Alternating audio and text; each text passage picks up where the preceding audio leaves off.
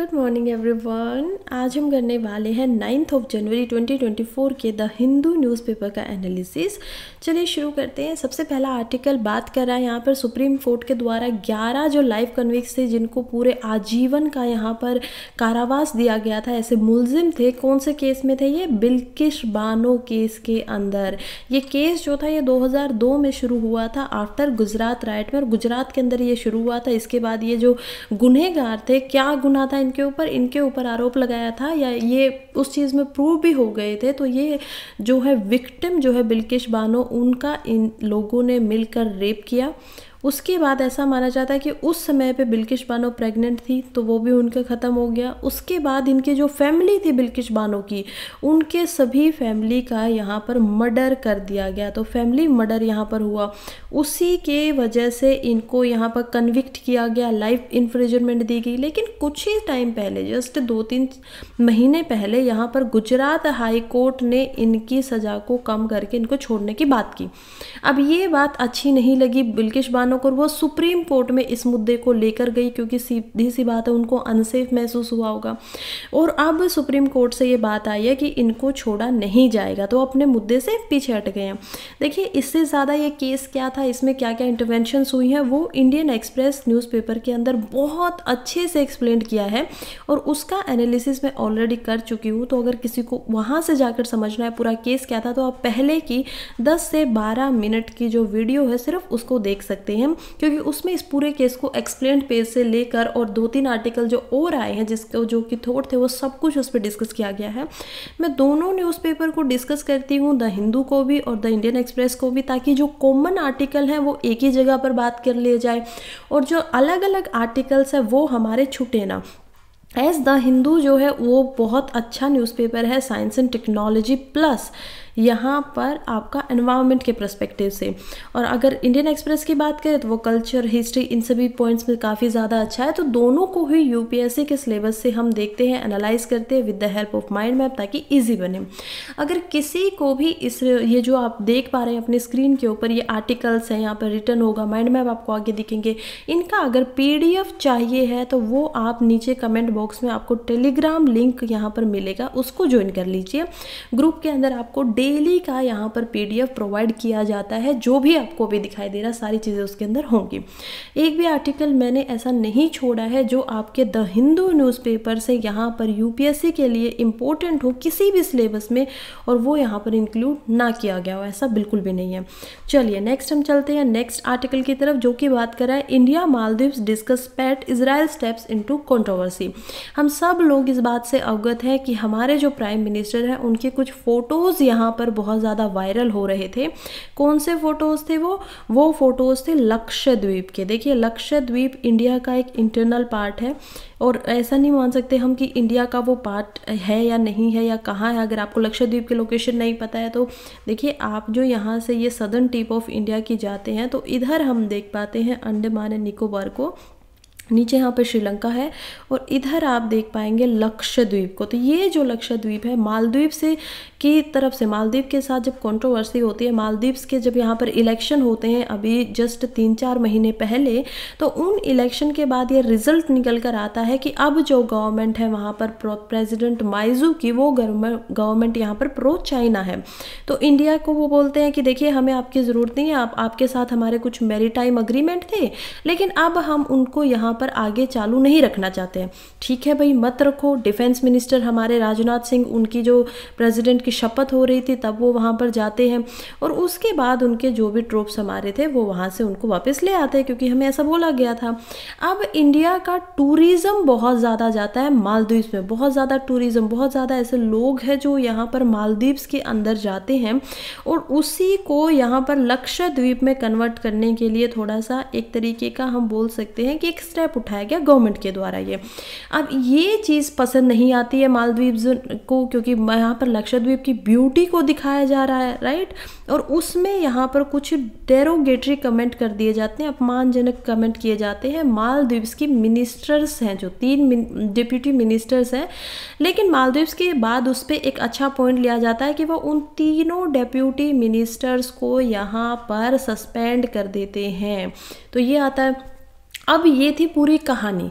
अब इस कहानी के बाद जो मालदीव से एनवॉय हैं, यानी कि इब्राहिम साहिब इनका नाम है, इब्राहिम साहिब आप इनको फ़ोटो में भी देख पा रहे हैं। ये आ जाते हैं इंडिया के अंदर और ये मिलते हैं हमारे जो एक्सटर्नल अफेयर मिनिस्टर्स हैं उनके साथ। तो हमारी जो एक्सटर्नल अफेयर मिनिस्ट्री है, उनके जो काउंटर पार्ट्स हैं, उनके साथ ये मिलते हैं उन्होंने उनको सम्मन किया था। ये यहाँ पर आके बोलते हैं कि देखिए, जो हमने फैसला लेना था, वो फैसला ले लिया है। हालाँकि अभी तक कोई भी यहाँ पर जो फॉर्मल हम बातें कर रहे हैं कि जो भी मिनिस्ट्री की तरफ़ से कोई भी यहाँ पर कुछ रिलीज़ नहीं किया गया है अभी तक। लेकिन ये सब स्टेप लिए गए थे।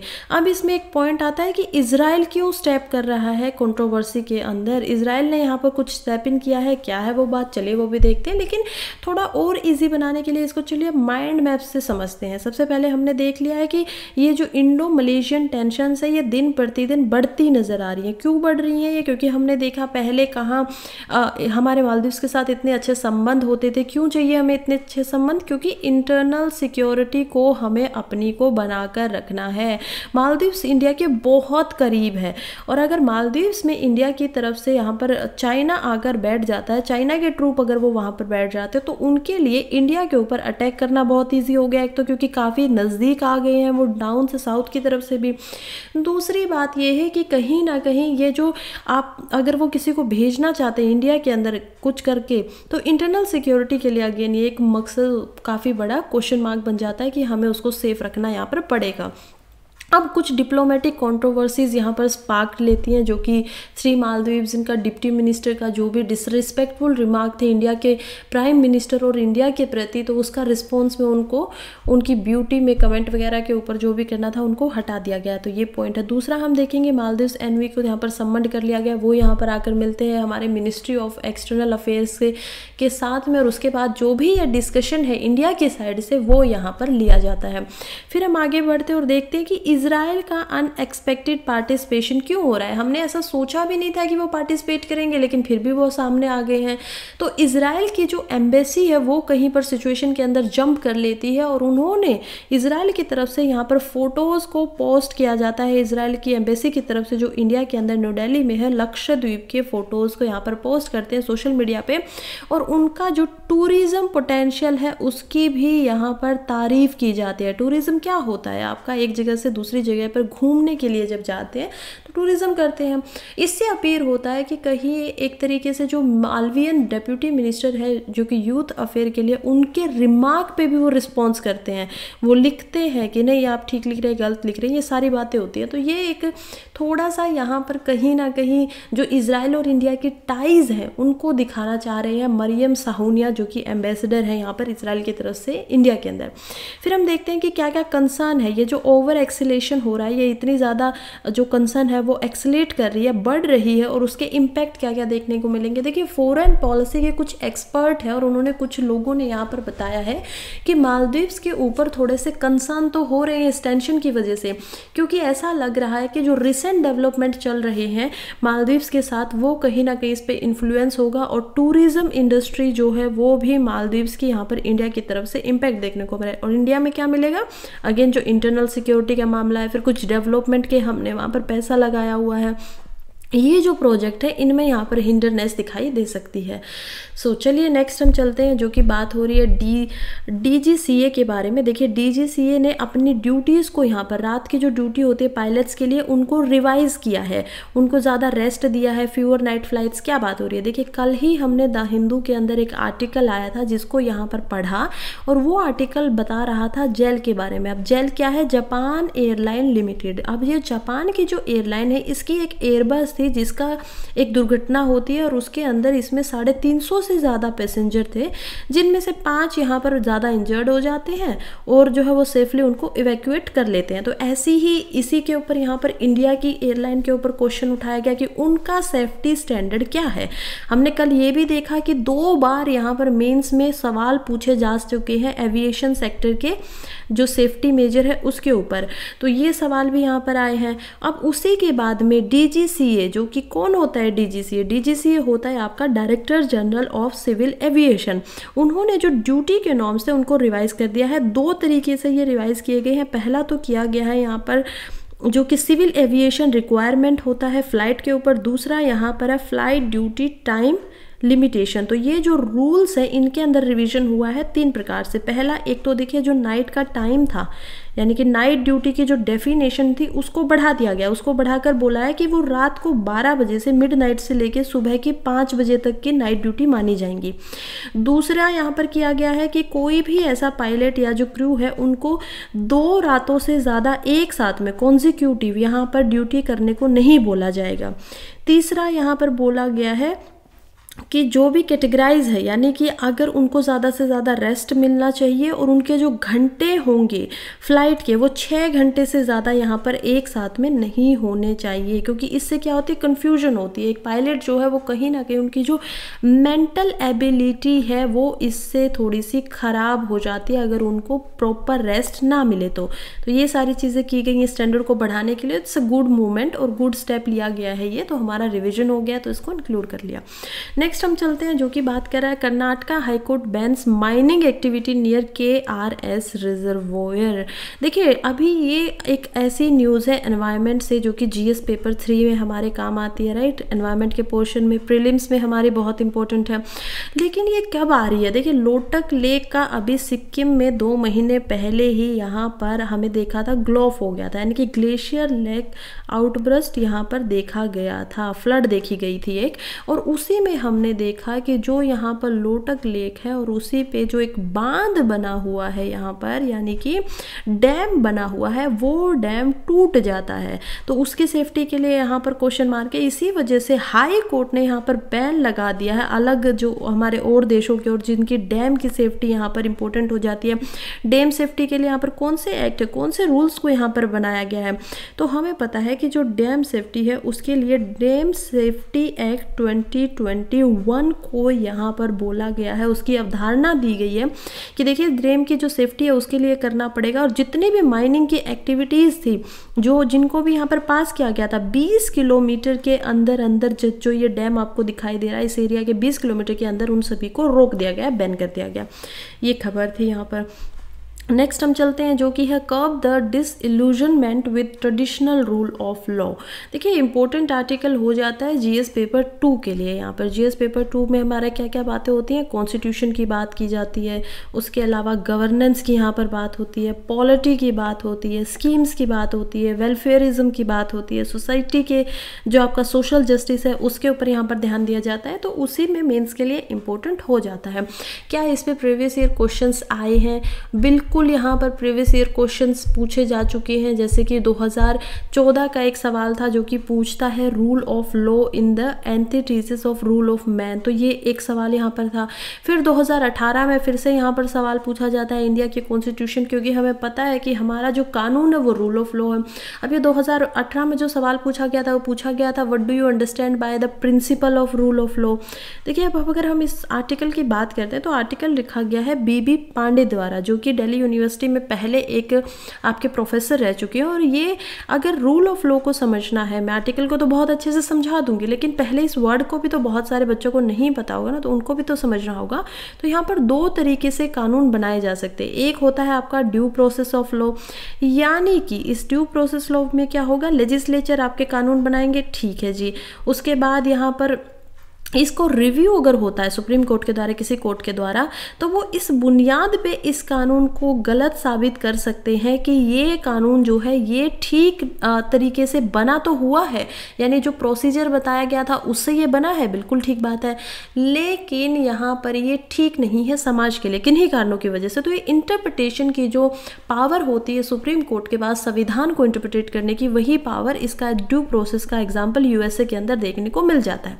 फिर हम देखते हैं कि इंडिया में क्या है। देखिए इंडिया के अंदर स्टार्टिंग में हमने जब लिया था तो हमने लिया था यहाँ पर रूल ऑफ़ लॉ ठीक है? और रूल ऑफ़ लॉ का क्या है? रूल ऑफ़ लॉ को हम यहाँ पर दोबारा प्रोसीजर एस्टैब्लिश बाय लॉ भी बोल सकते हैं।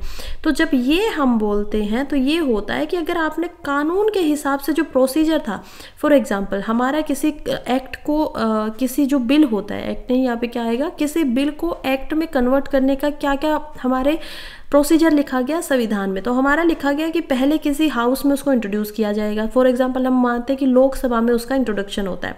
अब उसको भेजा जाएगा मेजोरिटी के हिसाब से। मनी बिल है तो उस पर स्पेशल मेजोरिटी यहाँ पर होगी। कोई उसको मना नहीं कर सकता। ऑर्डनरी बिल है या कॉन्स्टिट्यूशनल अमेंडमेंट बिल है। तो ये अलग अलग बिल होते हैं। आर्टिकल 110 के अकॉर्डिंग आपका मनी बिल आ जाता है। फिर आर्टिकल 16 68 के अकॉर्डिंग आपका कॉन्स्टिट्यूशन अमेंडमेंट आ जाता है। और फिर अमेंडमेंट बिल यहाँ पर होता है। तो पहले जो लोकसभा में इंट्रोड्यूस किया गया फॉर एग्ज़ाम्पल ऑर्डनरी बिल है वो जाएगा राज्यसभा में। राज्यसभा भी अगर उसको पास कर देती है, तब वो जाएँगे प्रेसिडेंट के पास। और इन तीनों के साइन होने के बाद, यानी इन्होंने पास करा, इन्होंने पास करा, तब ये बिल से बन जाएगा एक्ट, यानी कि अब ये कानून बन चुका है। अब इंडिया के पास अगर ये इसको रिव्यू करवाया जाए, मान लीजिए, कहते हैं कि नहीं, इसमें कुछ गलतियाँ हैं, सुप्रीम कोर्ट के पास केस चला जाता है, सुप्रीम कोर्ट क्या करेगा? सुप्रीम कोर्ट देखेगा सिर्फ़ इतना कि लोकसभा ने पास किया जी। राज्यसभा ने पास किया है? जी। प्रेसिडेंट ने पास किया है? जी। अब ये तीनों चीज़ होके सुप्रीम कोर्ट बोलेगा हाँ ये तो ठीक है। चाहे वो कितना ही उनको लगे कि समाज में अभी कुछ भी क्वेश्चन मार्क यहाँ पर उठ सकता है राइट उनकी पावर यहाँ पर कम नहीं हो रही है। लेकिन अगर यही केस यहाँ पर होता है सुप्रीम कोर्ट में यूएसए में ड्यू प्रोसेस फ्लो में तो वहाँ पर क्या होगा? राज्यसभा या फिर हम उनका चले कॉमन्स का यहाँ पर एग्ज़ाम्पल देते हैं तो हाउस ऑफ़ लॉर्ड्स ने उनका पास किया है? येस हाउस ऑफ़ कॉमन्स ने पास किया? येस प्रेजिडेंट ने पास किया? येस ओके तो लेकिन अभी भी यहाँ पर ये सोशल हमें ठीक नहीं लग रहा है तो ये कानून नहीं बन सकता। ये होता है ड्यू प्रोसेस ऑफ़ लॉ अब आई होप आप अच्छे से समझ पाए होंगे। इंडिया में क्या है? ये आपके लिए सवाल है कि इंडिया के अंदर हम क्या अपनाते हैं? देखिए, जब से जुडिशियल रिव्यू यहाँ पर आया तो हम दोनों का एक सिनर्जी यहाँ पर देख सकते हैं कि दोनों के सिंटिथिस यहाँ पर देखा जा सकता है। कभी कभी ड्यू प्रोसेस भी लागू हो जाता है, लेकिन कॉन्स्टिट्यूशनली और जो रियल हमारा है, वो है यहाँ पर processor procedure established by law या फिर ट्रेडिशनल रूल ऑफ़ लॉ भी उसको बोल देते हैं। चलिए, अब हम आते हैं आर्टिकल पे कि आर्टिकल क्या यहाँ पर बातें करना चाहते हैं। तो इस ऐसे के अंदर जो कि फॉर्मर प्रोफेसर हैं लो के बी बी पांडे वो डिस्कस करते हैं कि मॉडर्न चैलेंजेस क्या क्या हैं ट्रेडिशनल लो के। अब हम आगे बढ़ रहे हैं सोसाइटी का हमेशा एक रूल होता है। जब भी वो मॉडर्निटी की तरफ़ जाती है तो कुछ ट्रेडिशनल चीज़ें उसको छोड़नी ही पड़ती हैं। राइट और ट्रेडिशनल क्या होती है? जो हम हमेशा से देखते हुए, करते हुए आ रहे हैं। तो प्रथात्मक इनको बोला जा सकता है कि हम हमेशा से इसको करते हुए आ रहे हैं, लेकिन अब उन प्रथाओं को आगे बढ़ना पड़ेगा। इसलिए कह रहे हैं कि कुछ यहाँ पर प्रॉब्लम्स है आउटडेटेड लॉज के अंदर। क्या क्या प्रॉब्लम्स है वो हम डिस्कस करेंगे, लेकिन यहाँ पर जो पुराने कानून हो चुके हैं, उनमें समस्याएँ हैं और उनको स्टेप लिया गया गवर्नमेंट द्वारा उनको मॉडर्नाइज करने के लिए। लेकिन फिर उनको मॉडर्नाइज करने में भी कुछ चैलेंजेस निकल के आए क्योंकि पब्लिक का परसेप्शन उनके खिलाफ काफ़ी ख़राब था और कहीं ना कहीं पावर रिसोर्सेज का उनको नाम दिया गया। इसी के लिए यहाँ पर एग्ज़ाम्पल दिया जाता है, जो अभी के आईपीसी को बदला गया है, या फिर जो इंडियन एविडेंस एक्ट है, उनको जब यहाँ पर बदला गया है तो उनको चेंज करने का यहाँ पर एग्जांपल दे रहे हैं। आईपीसी कब आती है? आईपीसी जो आई थी, वो 1860 में आई गई थी। इसलिए इसको आउटडेटेड माना गया कि ये तो कॉलोनियल माइंड सेट से लाया गया है। फिर code of C R P C यहाँ पर आती है। सी आर पी सी क्या है? Code of criminal procedure code तो ये जब आती है तो नाइनटीन में आती है। फिर इंडियन एविडेंस एक्ट यहाँ पर आता है, जो कि आता है यहाँ पर अठारह सौ बहत्तर के अंदर। तो ये तीनों एक्ट जो है इनको बदल कर नाम दिया गया, पहले को बदला गया भारतीय न्याय संहिता, जबकि सेकंड संहिता आने वाली है अभी कि ठीक है, हम दोबारा से उस पर काम कर रहे हैं। फिर दूसरे का यहाँ पर नाम दिया गया कि नागरिक सुरक्षा सेकंड यानी सीआरपीसी को नागरिक, भारतीय नागरिक सुरक्षा बिल के तौर पर यहाँ पर चेंज कर दिया गया। और इसी प्रकार से एविडेंस को यहाँ पर दिखाया गया कि जो आप एविडेंस करते हो उनको दिखाया गया है। तो हम देखते हैं कि क्या क्या चैलेंजेस है अभी। माइंड मैप से थोड़ा इजी हो जाएगा समझना तो चलिए समझते हैं। सबसे पहले यही है कि डिस्क्रिमिनेशन देखा गया। आउटडेटेड लो पिनल लॉज वगैरह जो है। देखिए, जो सेंट्रल गवर्नमेंट है, उन्होंने कुछ स्टेप लिए हैं मॉडर्नाइज करने के लिए। जो आउटडेटेड लॉ है राइट उन्होंने एग्ज़ाम्पल दिया है, जैसे कि जन विश्वास अमेंडमेंट और प्रोविज़न एक्ट 2023 यानी कि अब इनको समझ में भी नहीं आया है, जब उनके ऊपर क्वेश्चन मार्क उठाए गए कि नहीं, ये ठीक से नहीं है। इस टाइम पे एमपीज का बहुत सारे ऐसे थे जो पार्लियामेंट से सस्पेंडेड थे, तब इन तीनों बिलों को पास करवाया जाता। तो उसी के, उसमें एक जन विश्वास एक्ट 2023 को दोबारा से यहाँ पर लाया जाता है। और ये फिर से इंट्रोड्यूस करने वाला न्यू पिनल लॉज जैसे कि भारतीय न्याय संहिता सेकंड भारतीय नागरिक सुरक्षा, भारतीय साक्ष्य सेकेंड बिल 2023 यहाँ पर आते हैं। उसके बाद ये डिस्क्रिमिनेशन तो था, ये तो ठीक किया गया था यहाँ तक। लेकिन अब जो चेंजिंग परसेप्शन है रूल ऑफ़ लॉ के प्रति लोगों का, उस पर क्या है? कि जो मेजर चैलेंज है यहाँ पर रूल ऑफ़ लॉ के परसेप्शन में, उसको देखने का जो नज़रिया है, वो ये है कि पावर रिसोर्स बहुत ज़्यादा है। यानी कि जो सोशल रिक्वायरमेंट है, आज के समय पर जो समाज की ज़रूरतें हैं, उसको बदलने के लिए यहाँ पर पुलिस इनकाउंटर जैसी स्ट्रेटजीज़ का इस्तेमाल हो रहा है, जैसे कि बुलडोजर वगैरह का इस्तेमाल होता है तो ये सारी चीज़ें ठीक नहीं है। कि आप किस प्रकार से अपनी पावर को एक तरीके से काम कर रहे हो? ऊपर से हमारे जो स्टेट है वो कैसे स्टेट है? वेलफेयर स्टेट यहाँ पर देखी जाती है। कुछ स्टेट होती हैं जो कि पुलिस स्टेट होती हैं कि पुलिस का यहाँ पर ज़्यादा पावर उनको मिलेगी। अभी कोई पुलिस वाला कुछ यहाँ पर नहीं दे सकता ना, किसी को मार नहीं सकता इसी वजह से यहाँ पर एग्ज़ाम्पल भी दिए गए हैं कि कैसे कुछ बुलडोजर्स का इस्तेमाल किया जाता है। कैसे यहाँ पर जो अभी जम्मू एंड कश्मीर के अंदर कुछ जो वहाँ के लोकल्स थे, उनको गिरफ़्तार किया गया और उनको गिरफ़्तार करने के बाद उनकी डेथ हो जाती है यहाँ पर पाँच लोगों की। तो एक साथ इतना कुछ हो जाना ये कोई छोटी बात नहीं है। अब उनके ऊपर अच्छे से केस होना चाहिए, अच्छे से ये जो नया कश्मीर नया कश्मीर बोल रहे थे अकॉर्डिंग टू ऑथर तो ये तो नया कश्मीर नहीं है, ये तो पहले वाला कश्मीर ही यहाँ पर दिखाई दे रहा है। ये तो गलत है कि आप पावर का बहुत ज़्यादा इस्तेमाल कर रहे हो रेदर जो रूल ऑफ़ लॉ है उसका यहाँ पर ध्यान नहीं दिया जा रहा है। तो इन्वेस्टिगेशन कैसी होनी चाहिए? बहुत सख्त होनी चाहिए, बहुत स्ट्रिंजेंट इन्वेस्टिगेशन यहाँ पर देखी जानी चाहिए। नेक्स्ट हम देखते हैं जो कि है potential pitfalls of current scenario देखिए, ये बताते हैं कि हम एग्ज़ाम्पल लेते हैं फ्रांस का। फ्रांस के अंदर भी कुछ दुर्घटनाएँ हुई हैं, जो कि दुर्घटनाएँ थी कि वहाँ पर जो पुलिस के ख़िलाफ़ में कुछ आपके जो सफ़ाई कर्मी हैं, उन्होंने वहाँ पर जाके प्रोटेस्ट किए और उन्होंने प्रोटेस्ट को के ऊपर जो है गवर्नमेंट ने अच्छे से ध्यान भी दिया और पुलिस को कहीं ना कहीं बोला कि नहीं, आप लोगों का जो बिहेवियर है वो गलत है। तो यहीं से इंडिया को भी एक तरीके से एग्ज़ाम्पल लेना चाहिए कि जो पोटेंशियल है डाउन साइड शिफ्ट का, कि नज़रिया जो बदल रहा है, जब आप इम्प्लीमेंट करने चाहते हो कोई भी, किसी भी कानून को आप जब लागू करने जा रहे हो तो हमेशा डाउन अप्रोच से सोचिए। आप ऐसा मत सोचिए कि पावर से हम उसको कैसे ठीक कर सकते हैं। रेदर जो डाउन अप्रोच जिनके ऊपर वो कानून लगने वाला है। देखिए, अभी कितने ज़्यादा प्रोटेस्ट होते हैं। फॉर्म्स लॉ आता है उसके ऊपर प्रोटेस्ट होता है यहाँ पर। फिर ये तीन पिनल कोड आते हैं आईपीसी आते हैं इनके ऊपर प्रोटेस्ट यहाँ पर हो रहे हैं। फिर अब यहाँ पर जो एक आ, आपका जो ट्रांसपोर्ट एंड मोटर्स व्हीकल्स का यहाँ पर अमेंडमेंट किया जाता है उसके ऊपर यहाँ पर प्रोटेस्ट चल रहे हैं।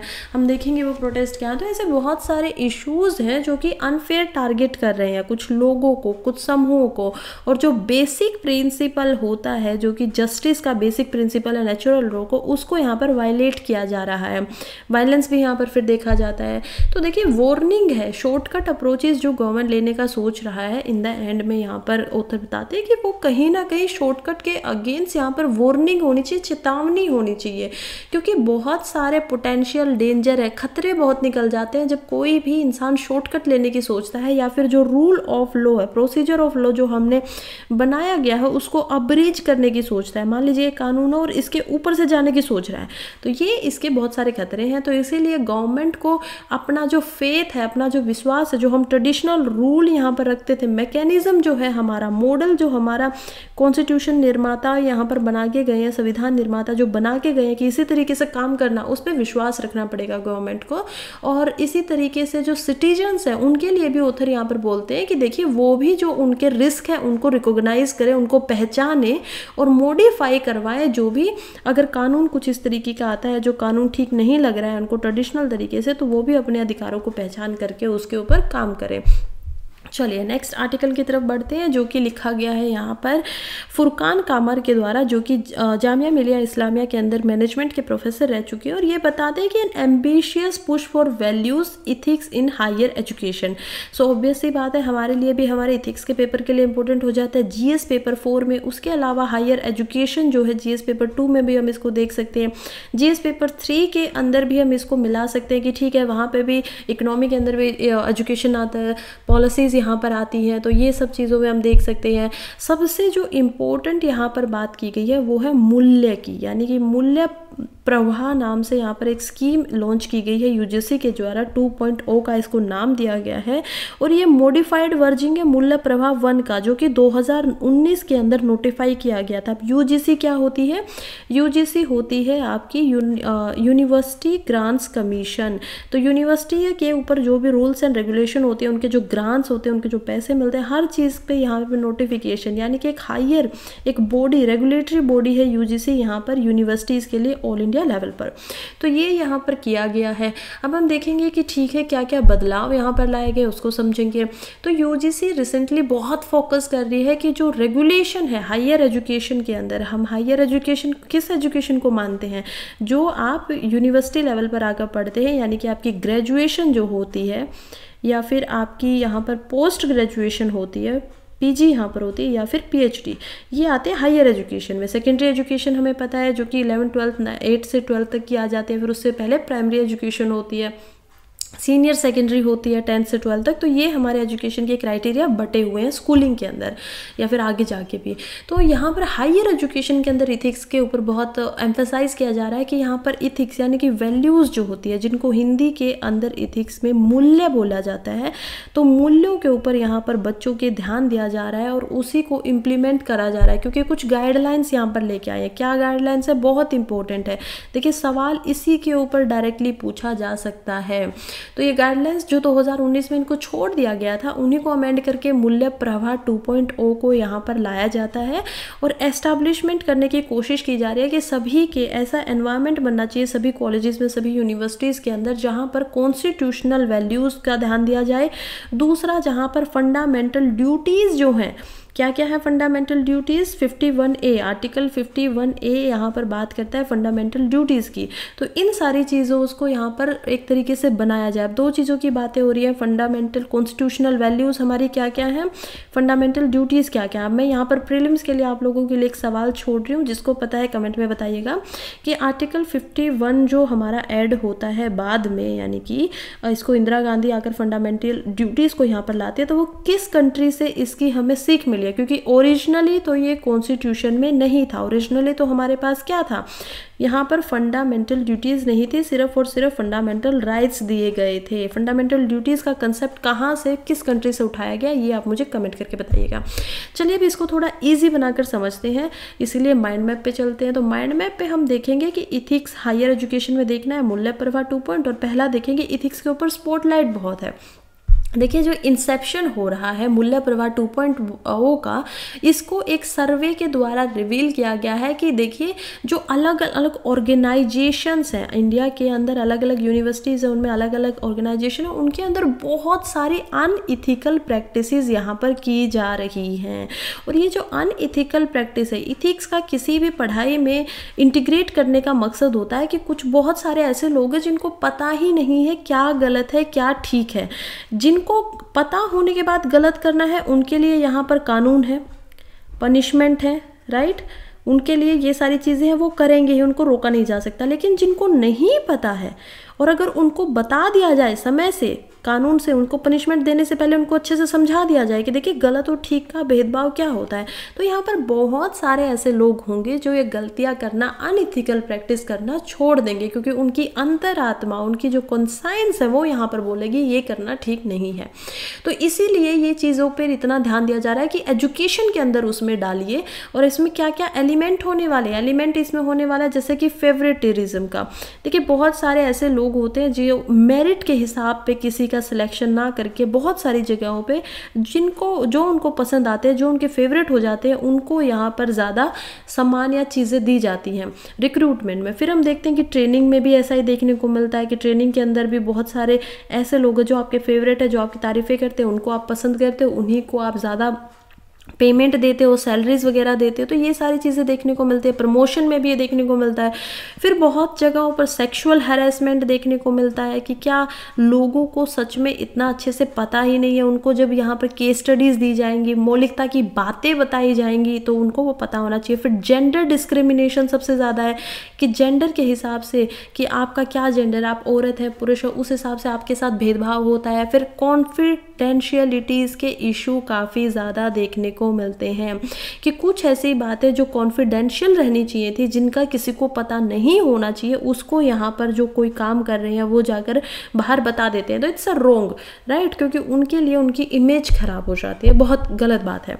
नेक्स्ट हम देखेंगे sincerity needed in implementation implementation के अंदर यहाँ पर सिंसियरिटी की ज़रूरत है। देखिए, जितनी रेगुलेशन होगी, वो पूरा जो पूरा का पूरा एथिकल इशू है हायर एजुकेशन के अंदर, माना कि उसको पूरी तरीके से हंड्रेड परसेंट तो शायद ये ठीक ना कर पाए। लेकिन अगर आप इम्प्लीमेंट करेंगे उसको बहुत ज़्यादा सिंसियरिटी के साथ तो ये रेगुलेट कुछ ना कुछ पार्ट तो ज़रूर कर पाएगा। जो रूट है, जो कहीं ना कहीं जड़ है समस्याओं की, उस जड़ पर हम काम करने वाले हैं, जिससे जो आपका ऊपर जो वृक्ष आएगा, जो पेड़ आएगा, वो कहीं ना कहीं ऊपर ठीक हो जाएगा। तो थोड़ा बहुत ट्रेस तो यहाँ पर करप्शन का ज़रूर देखा जाएगा। फिर हम देखते हैं कि ट्रांसपेरेंसी को रिकमेंड किया गया है। जो गाइडलाइन है वो प्रायोरिटाइज करती है कि एडमिनिस्ट्रेटिव जो डिसीज़न मेकिंग यहाँ पर है, कोई भी किसी भी एडमिनिस्ट्रेशन में यूनिवर्सिटी के अंदर भी, कहीं पे भी तो वो डिसीज़न मेकिंग के अंदर ट्रांसपेरेंसी होनी चाहिए। जो भी प्रिवलेज दिए जा रहे हैं, किसी को भी यहाँ पर वो क्यों दिए जा रहे हैं, वो बातें बिल्कुल प्रमोट होनी चाहिए। आपको स्पष्टता होनी चाहिए। लोगों को देख पाना चाहिए कि ठीक है, इस इंसान को मेरिट किया गया, इस इंसान को ऊपर बढ़ाया गया तो इसका पीछे रीज़न क्या था? क्यों इसको कोई सुविधा, क्यों इसको कोई पोजिशन क्यों दी जा रही है? तो वो यूनिवर्सिटी जब खुद से दिखाएँगे ट्रांसपेरेंसी रख रखेंगे कि कोई भी इसको जान सकता है तो आगे जाके बच्चे भी उसी तरीके से सीखेंगे।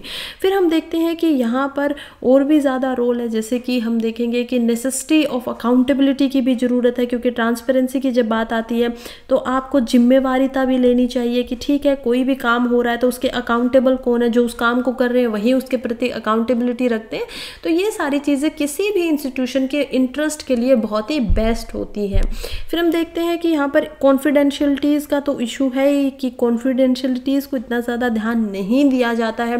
तो गाइडलाइन एम्फेसाइज कर रही हैं कि जो भी आपकी कॉन्फिडेंशियलिटी है, जो भी किसी चीज़ को बचा के रखना है कॉन्ट्राडिक्ट्री नहीं होना चाहिए। आप ऐसा भी नहीं कर सकते हो कि कॉन्फिडेंशली के चक्कर में आरटीआई राइट टू इन्फॉर्मेशन जो होता है उसको मना करने लग जाओ। नहीं, आपको ध्यान रखता है कि कोई भी इंस्ट्रूमेंट्स अगर आरटीआई के सच में वो खिलाफ है, सच में वो किसी चीज़ से उसके प्रति अगेंस्ट में जा रहा है तो ही आप उसको दोगे। अगर ऐसा मिलता है, बाद में जो इन्वेस्टिगेशन होती है कि वो तो आरटीआई के राइट दिया जा सकता था इन्फॉर्मेशन को आपका पता चलता है तो उसके ऊपर फिर पनिशमेंट वगैरह भी दी जाएँगी। फिर हम देखते हैं यूनियंस के रोल्स की बात की गई है रोल ऑफ़ यूनियंस तो मूल्य प्रवाह 2.0 ये स्टाफ एंड स्टूडेंट दोनों को ही यहाँ पर एनकरेज कर रहा है कि वो यूनियंस को स्टूडेंट यूनियन जो है वो एक साथ आके अलाई कर सके एडमिनिस्ट्रेशन के साथ.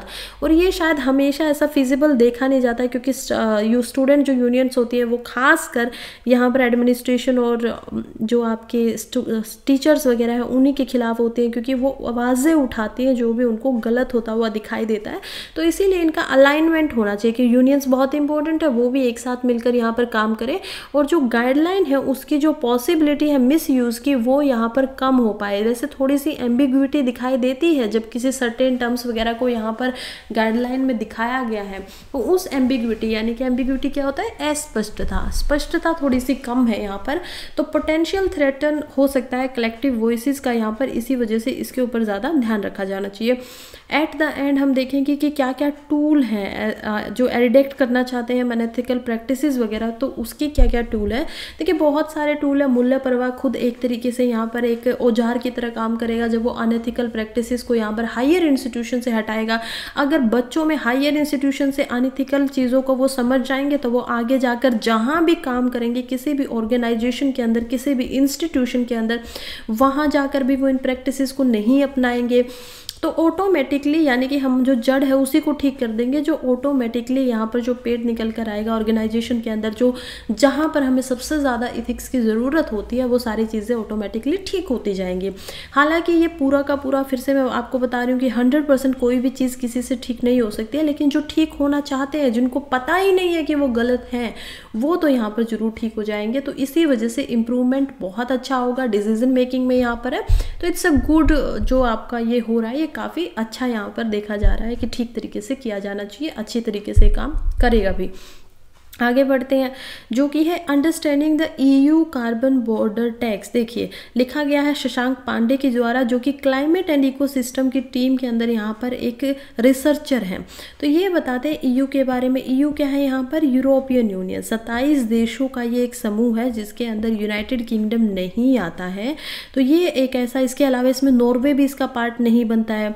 तो ये आपको थोड़ा सा पता होना चाहिए ईयू के बारे में। फिर ईयू एक, जैसे अलग अलग होता है एशिया एशिया के अंदर ये एयू होगा। अफ्रीका के अंदर भी यहाँ पर ए है। अफ्रीकन यूनियन, जिसके अंदर 57 मेंबर कंट्रीज़ हैं यहाँ पर। फिर यूनाइटेड नेशंस जिसके अंदर 197 मेंबर कंट्रीज़ हैं।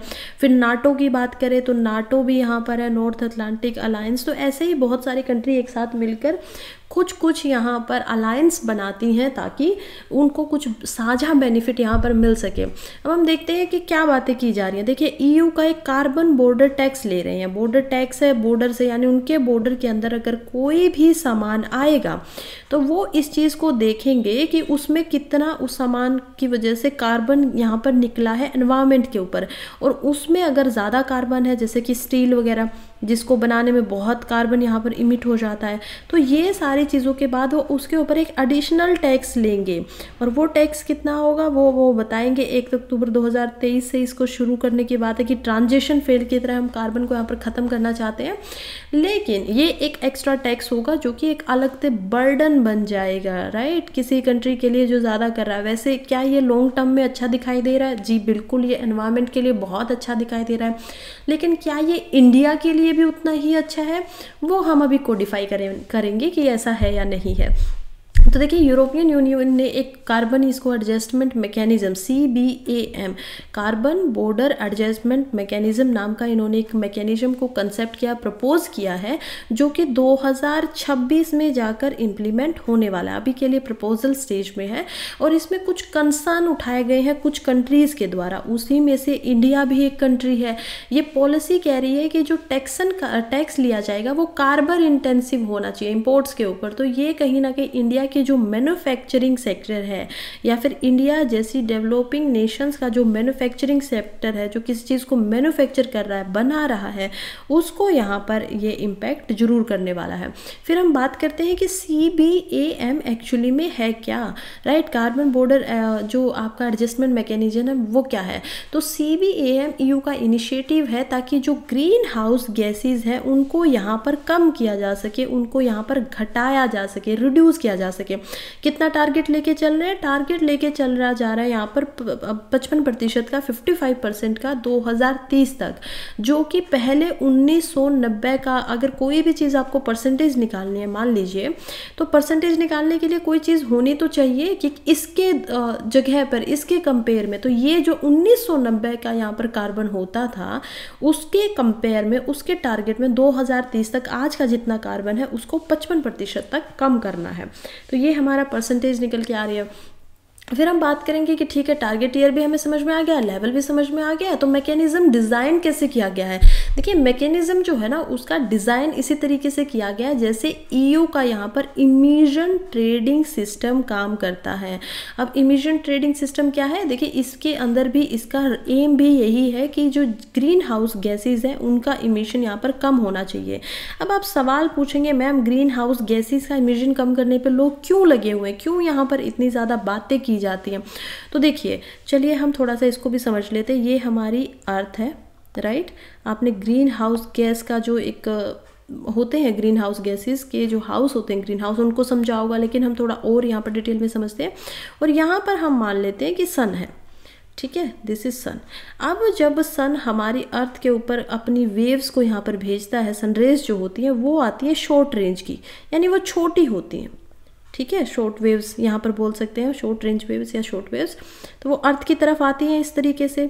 अब अर्थ पे जब वो आ रही हैं तो ठीक है अलग अलग जगह पे आती हैं। अर्थ का आपको पता है ना कि अर्थ इस तरीके से नहीं बनी हुई है कि अर्थ के ऊपर सब कुछ सेम है।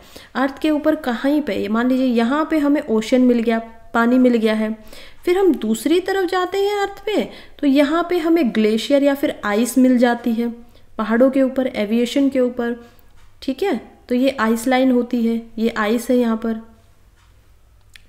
फिर हम नेक्स्ट आगे बढ़ते हैं तो यहाँ पर ट्रीज़ वगैरह हैं पेड़ पौधे हैं ग्रीनरी है तो कुछ इस तरीके से हमारी अर्थ हमें दिखाई देती है। कहीं पर हमें डेजर्ट दिखाई देता है, ये डेजर्ट का एरिया है।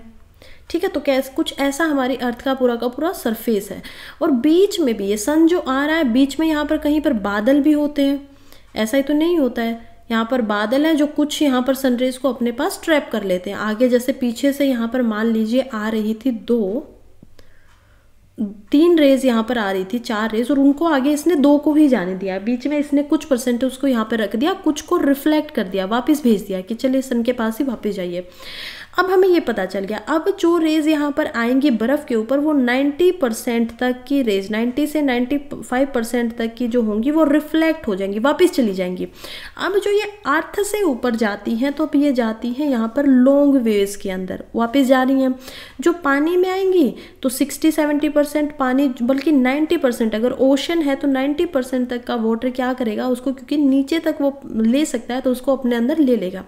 जब वो यहाँ पर ट्रीज़ के ऊपर आएँगी ग्रीन ग्रीनरी के ऊपर आएँगे तो 50 से 60 परसेंट तक यहाँ पर ये कंज्यूम कर लेंगे और वापस इसको एटमोसफेयर में छोड़ देंगे। ठीक है, वापस छोड़ रहे, यहाँ से जा रही है, बर्फ़ से जा रही है और पानी से भी लॉन्ग वेज में वापस जा रही है। अब हमें इतना सिनेरियो अच्छे से समझ में आ गया है। ठीक है, अब हम चलते हैं एटमोसफेयर की तरफ़ कि ये हमारा यहाँ पर अर्थ का एटमोसफेयर है जो कि पाँच लेयर्स में बटा हुआ है। पहले क्या आएगा? सबसे पहले आएगा ट्रोपोस्फेयर यानी कि ये जो पेड़ पौधे यहाँ पर है, इनके जस्ट ऊपर 10 से 12 किलोमीटर जो एरिया है, उसके जस्ट ऊपर हम यहाँ पर हमारे ट्रोपोस्फेयर को देख पाते हैं और ये होती है सबसे पहली यहाँ पर। उसके ऊपर हम जाते हैं तो हम पाएँगे स्टार्टोस्फेयर को। Right right? यहाँ पर स्टार्टोस्फेयर है उसके ऊपर हम जाएँगे तो हम बादल वगैरह सब कुछ देखें यहाँ पर मेजोस्फेयर को पाएँगे उसके ऊपर हम पाएँगे तो एग्जोस्फेयर को पाएँगे। तो ये कुछ इस तरीके से मिलेंगे और लास्ट वाली जो यहाँ पर होगी, वो होगी यहाँ पर आइनोस्फेयर यानी कि आइंस यहाँ से टेम्परेचर दोबारा से बढ़ना शुरू होगा। अब जब हम स्टार्टोस्फेयर के अंदर हैं तो हमने बहुत बार ओजोन लेयर के बारे में सुना है। तो स्टार्टोस्फेयर जो होती है, वहाँ पर होती है ओजोन की आपकी एक लेयर और ये लेयर क्या करती है? ये लेयर जो आपके हार्मफुल यूवी की रेज है, उनको अंदर पेनिट्रेट होने से रोकती है। ये हार्मफुल नीचे आ रही है, लेकिन ये क्या करिए कि कुछ को नीचे जाने दे रही है और कुछ ताकि जो हार्मफुल है रेडिएशन है, उनको रोक दे रही है, यहीं पे रोक दे रही है। अब ये ग्रीन हाउस गैसेस क्या करती है? देखिए सबसे पहले ग्रीन हाउस गैसेज होती कौन कौन सी हैं? तो कार्बन के ऊपर इतना ज़्यादा बात हो रही है तो कार्बन डाइऑक्साइड एक ग्रीन हाउस गैस नहीं है कार्बन मोनोऑक्साइड यहाँ पर एक ग्रीन हाउस गैस होती है।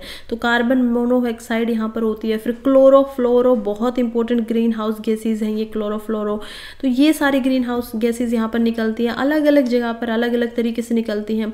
ये ग्रीन हाउस गैसेज क्या करेंगी कि ये अर्थ से ऊपर होकर यहाँ पर ओजोन लेयर के पास में इकट्ठी होनी शुरू हो जाएँगी।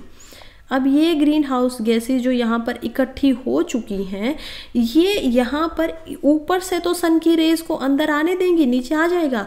लेकिन नीचे से क्योंकि वो लॉन्ग वेव्स हैं, उनको ऊपर नहीं जाने दे रही अब आप यहाँ से देखिए, ये रेज नीचे आ रही हैं, आ रही हैं। क्या ये रेज यहाँ से ऊपर जा पा रही है? हाँ कुछ परसेंट जा रही है, जो कि ऊपर यहाँ पर दिखाई दे रही है, दो, चार, पाँच, दस परसेंट लेकिन ज़्यादातर रेज जिनको वापस जाना था, वो यहीं पर रुक गई। वो यहीं पर रुक गई तो ये क्या हो रहा है? एटमोसफेयर यहाँ पर गर्म हो रहा है वॉर्म हो रहा है। ये होता है ग्रीन हाउस गैसेज का इफ़ेक्ट अब अगर ये ग्रीन हाउस गैसेज यहाँ पर वार्मिंग कर भी रही हैं तो इससे क्या फ़र्क पड़ता है मैम? हमें इतना क्यों चिंता करनी है? ठीक है, थोड़ी बहुत गर्मी बढ़ जाएगी। देखिए, जो अर्थ के ऊपर आपके ग्लेशियर्स हैं ना वो यहाँ पर पिघल जाएँगे। ठीक है ग्लेशियर्स पिघलेंगे। ग्लेशियर पिघले से क्या, इतना फ़र्क क्या पड़ेगा?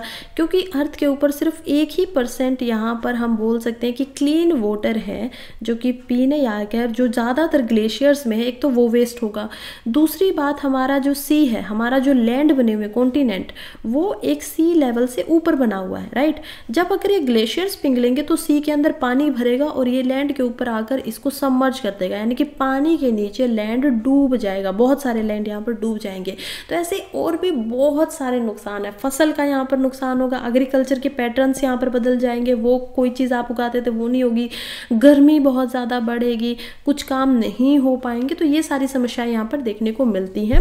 चलिए, अब हम समझ चुके हैं ये पूरा का पूरा कि ऐसा यू क्यों चाहता है इस पूरे आर्टिकल को समझने के लिए कि इंडिया के ऊपर यहाँ पर क्या रिस्पॉन्स है, क्या इम्पैक्ट पड़ने वाला है, वो हम देखते हैं कि इंडिया के ऊपर क्या होगा। तो सबसे पहले देखते हैं कि जो इंडिया है एज अगर रिपोर्ट के हिसाब से देखें तो ग्लोबल ट्रेड रिसर्च इनिशिएटिव के द्वारा यहाँ पर एक रिपोर्ट निकाली गई है और उसमें इंडिया टॉप एट परसेंट यहाँ पर कंट्रीज़ के अंदर आता है। जो आप देख पाएँगे कि टॉप एट परसेंट ऐसी कंट्रीज़ के अंदर इंडिया यहाँ पर आ रहा है जो कंट्रीज़ सीबीएम से इफ़ेक्ट होने वाली है। चाहे इंडिया में देखें तो क्या होगी? टॉप एट कंट्रीज़ है स्टील की इंडस्ट्री स्टील बनाने में सबसे ज़्यादा यहाँ पर बनता है। तो स्टील की इंडस्ट्री इंडिया के ऊपर बहुत ज़्यादा यहाँ पर इम्पेक्टेड होगी इफ़ेक्ट पड़ेगा। 2022 का अगर डाटा हम देखें तो 2022 में जो एक्सपोर्ट हुआ था इंडिया की तरफ़ से यूरोपियन यूनियन में, वो 27 प्रतिशत उसमें से यहाँ पर आयरन गया था, यानी लोहा गया था स्टील गया था और एल्यूमिनियम गया था। और ये जो प्रोडक्ट हमने भेजे थे, वो अगर हम वैल्यू निकालें तो वो लगभग 8.2 बिलियन के थे। अगर ईयू इन सारे प्रोडक्ट्स पे और ज़्यादा टैक्स लगाता है कार्बन करता है तो इनको हमें कम करना पड़ेगा। और ये जो पैसे थे, जो 8.2 बिलियन हम प्रॉफिट कमा पा रहे थे, पैसे कमा पा रहे थे, ये पैसे भी हमारे रिड्यूज़ होंगे, कम होंगे। तो हुआ ना इंडिया का नुकसान होगा इस तरीके से। और जो इंडस्ट्रीज़ है, क्योंकि उनके पास खपत इतनी ज़्यादा नहीं हो रही है, जो इनको मैन्युफैक्चर कर रही है, बना रही हैं हैं तो उन पर भी नुकसान होगा, क्योंकि वो लोग भी अब इसकी खपत तो कंज्यूमशन तो इसका करवा नहीं पा रहे हैं, लेकिन इसको बना वो ज़रूर रहे हैं तो इससे क्या होगा? उनको इसके रेट को यहाँ पर चीप करना पड़ेगा, सस्ता करना पड़ेगा। अब उसका क्या होगा? नुकसान होगा कि जितना उनको यहाँ पर लग रहा था पैसा किसी चीज़ को बनाने के लिए, उससे कम में उसको अगर बेचना पड़ जाता है तो वो तो बहुत ज़्यादा इम्पेक्ट करेगा। तो ओवरऑल ये इंडिया के लिए इस तरीके से ख़राब है। फिर इंडिया के हमारे पास पोटेंशियल अभी क्या क्या सनेरियो है कि इंडिया कर क्या क्या सकता है राइट तो क्या क्या इम्पैक्ट होने वाला है? तो इंडिया के ऊपर जो करंट सनेरियो उसमें रिस्पॉन्स है। जैसे पहला तो इंडिया नेगोशिएट कर सकता है ईयू के साथ की क्योंकि हम पहले ही यहाँ पर एफटीए बनाने की बहुत कोशिश कर रहे हैं। एफटीए क्या है? फ्री ट्रेड अग्रीमेंट इसमें हम पहले ही बोल देंगे कि हमारा फ्री ट्रेड अग्रीमेंट है। अगर ये हो जाता है तो तो हम कुछ नेगोशिएशन करेंगे। हम बोलेंगे कि नहीं, हमें इसके ऊपर टैक्स वगैरह नहीं देना है। दूसरा यहाँ पे हो सकता है कि ऐसी पॉलिसी को डब्ल्यू डब्ल्यू के अंदर भी इंडिया जाकर चैलेंज कर सकता है। डब्ल्यू क्या है? एक रेगुलेटरी बॉडी है, पूरे ट्रेड पे, पूरे जो वर्ल्ड का ट्रेड होता है। तो वर्ल्ड ट्रेड ऑर्गेनाइजेशन इसका नाम है। इसमें भी जाके चेंज कर सकता है। इंडिया की करंट अभी की क्या क्या पॉलिसीज़ बनाई गई हैं इंडिया के द्वारा? तो करंट पॉलिसीज़ की बात करें तो इंडिया में दो एक्ट हम देख पाएँगे। जो सबसे पहला एक्ट है, इसके ऊपर वो है एनर्जी कंजर्वेशन एक्ट 2001 देखिए, ये जो 2001 का इसका जो ड्राफ्ट है, वो खुद भी कार्बन ट्रेडिंग मैकेनिज्म के ऊपर बात कर रहा है। दिसंबर दो हज़ार बाईस के अंदर इसको अमेंड किया गया था और कार्बन का क्रेडिट ट्रेडिंग सिस्टम को इंट्रोड्यूस किया जाता है इंडिया के अंदर। ताकि क्लाइमेट चेंज जो हो रहा रहा है, उसको इम्यूजन किया जा सके, उसके प्रति खुद ही क्लीन एनर्जी की तरफ़ ज़्यादा इंडिया बढ़े। तो ये इंडिया खुद ही अपने आप ही कर रहा है सेल्फ रेगुलेशन कर रहा है। दूसरा देखेंगे ग्रीन क्रेडिट प्रोग्राम रूल्स 2023 तो ये जो ग्रीन क्रेडिट के प्रोग्राम रूल्स आ रहे हैं 2023 के, वो यहाँ पर क्या क्या है?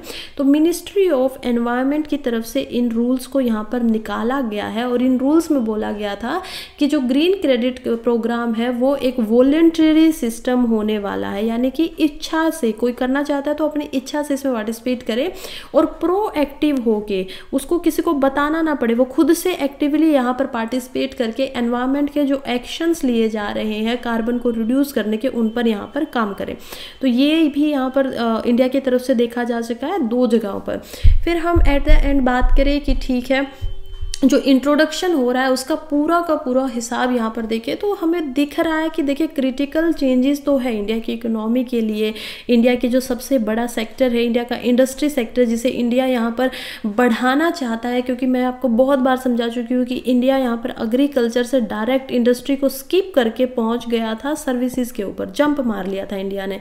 तो इस जंप के बाद अब हम इंडस्ट्री पर वापस आए, हमारा पोटेंशियल है आने वाले बीस तीस साल के अंदर कि हम इंडस्ट्री के ऊपर यहाँ पर ज़्यादा काम कर सकते सकते हैं। वो भी देखा गया है। फिर अगर बात करें कि यूपीएससी में क्यों इंपॉर्टेंट हो जाता है तो क्योंकि यहाँ पर मेंस में अभी 2019 में भी एक सवाल देखा गया है, जिससे पूछा गया था कि analyse the role and impact of carbon taxes and carbon trade which is currently debated world wide as a climate change mitigation strategy तो ये भी इंपॉर्टेंट हो जाता है। चलिए नेक्स्ट हम आर्टिकल देखते हैं, जो कि है exploring India's diverse cultural heritage through G I tags देखिए जी आई टैग की यहाँ पर बात हो रही है तो तो ये एक डाटा दिखाया गया है कि स्टेज वाइज क्या क्या जीआई टैग किस किस चीज़ को मिले हुए हैं। अभी भी यहाँ पर सत्रह ऐसे प्रोजेक्ट है थर्सडे को जिनको छः स्टेट के अंदर और यूटीज़ के अंदर जीआई टैग दिया जाता है। तो सबसे पहले जीआई टैग एक्चुअली में होता क्या है? जीआई टैग होता है जियोग्राफिकल इंडिकेशन टैग यानी कि कोई सामान जो एक ही ज्योग्राफी में बढ़ता है। जैसे कि आप लोगों ने यहाँ पर अलग अलग चाय के नाम सुने होंगे, ताज चाय, सिक्किम चाय या फिर दार्जिलिंग की चाय। तो ये जो दार्जिलिंग टी है, ये क्या है? ये टी को एक तरीके के प्रोडक्ट को एक जीआई टैग मिला हुआ कि वो वहीं पर निकलेगी। फिर नागपुर के यहाँ पर ऑरेंजीज आते हैं, नागपुर के संतरे यहाँ पर आते हैं, वो भी यहाँ पर देखा जाता है। तो ये जीआई टैग होता है कि कोई भी ऐसा कोई भी जगह है जहाँ पर स्पेशली कोई चीज़ बनती है तो वहाँ पर उसको ये टैग दिया जाता है। क्या ये सिर्फ़ फ्रूट्स वगैरह इन्हीं सारी चीज़ों को मिलता है? नहीं, आपके कोई कल्चरल आपका वहाँ का कोई है, जैसे कांजीवरम साड़ी आप लोगों ने सुना होगा, कांजीवरम साड़ी तो वो भी यहाँ पर दिखाई जाती हैं। तो ये सारी चीज़ें हैं। फिर ओडिशा से लेकर यहाँ पे दोंगड़ा कुड शाल, ओडिशा में इसको जी टैग का हैंडीक्राफ्ट के अंदर यहाँ पे डोंगारिया शॉल, जिस तरीके से आपने सुना होगा और भी ऐसे शॉल्स हैं, जैसे कि कश्मीर के कुछ उनको भी यहाँ पर ऐसे जीआई टैग दिया जाता है। फिर सुंदरबन, हनी, वेस्ट बंगाल में यहाँ पर जी जीआई टैग उसको मिला है, वेस्ट बंगाल के अंदर किसको मिला है? सुंदरबन, हनी को। सुंदरबन, हनी कहाँ पे होगा? सुंदरबन के जो फॉरेस्ट हैं, जो कि इंडिया का सबसे बड़ा लार्जेस्ट हम उसमें देख सकते हैं कि सदाबहार एक फॉरेस्ट है। वहाँ पर इसको मिलता है। तो ये सारे जीआई टैग मिलते हैं सभी को और एग्रीकल्चर में इसी तरीके के इसको डिवाइड भी किया गया। देखिए स्टेट वाइज अभी भी हम देखें तो एग्रीकल्चर में ऑलमोस्ट 196 ऐसी जीआई टैग की रजिस्ट्री मिली हुई है। पाँच मेजर कैटेगरीज में फ़ूड स्टफ़ में 38 को जीआई टैग मिला हुआ है। हैंडीक्राफ्ट में 285 को यहाँ पर मिला है। मैन्युफैक्चरिंग की अगर बात करें तो यहाँ पर हम देख पाएँगे न्यूट्रल दो परसेंट और फिर ये बता रहा है तमिलनाडु में स्टेट वाइज देखें तो 61 चीज़ों को यहाँ पर तमिलनाडु में मिला। उत्तर उत्तर प्रदेश के अंदर यहाँ पर 50 चीज़ कर्नाटका में 48 ऐसे प्रोडक्ट्स हैं। और फिर हम देखेंगे केरला के अंदर 39 महाराष्ट्र 35 उत्तराखंड 27 वेस्ट बंगाल, ओडिशा, मध्य प्रदेश, राजस्थान, इन सारे स्टेट्स में इनको काफ़ी सारी चीज़ों को मिला है। ये क्या है? ये भी एक पेंटिंग का यहाँ पर एग्ज़ाम्पल दिया हुआ है, जो कि है हाउरा पेंटिंग इन भुवनेश्वर, जो कि जियोग्राफिकल इंडिकेशन को यहाँ पर दिखाती है। फिर स्टेज वाइज में हमें हैंडीक्राफ्ट्स के अलग अलग दिखाया गया कि तमिलनाडु में थर्टी फोर ऐसी चीज़ें जहाँ पर जिनको हैंडीक्राफ्ट की वजह से मिला। एग्रीकल्चर में सोलह मैन्युफैक्चरिंग फ़ूड एग्रीकल्चर अगेन ये स्टेट वाइज इनको सारा बांटा गया है। क्या क्या ये जी आई टैग से कौन कौन से बिल्कुल इंपॉर्टेंट तरीके से बताए गए हैं, वो यहाँ पर डिस्कस ना करके इंडियन एक्सप्रेस में इनको डिस्कस किया गया है। जैसे कि एक एंट रेड एंट जो होती है, उनकी चटनी को यहाँ पर जी आई टैग मिला है। तो उसको आप दूसरी वीडियो में जाकर समझ सकते हैं। चलिए नेक्स्ट हम चलते हैं जो कि है debating India's new hit and run law देखिए, यहाँ पर एक कानून आया था, हमें पता है, जो कि था मीटर्स व्हीकल के अंदर जो न्याय संहिता 2013 यहाँ पर लाई गई है आईपीसी को छोड़कर।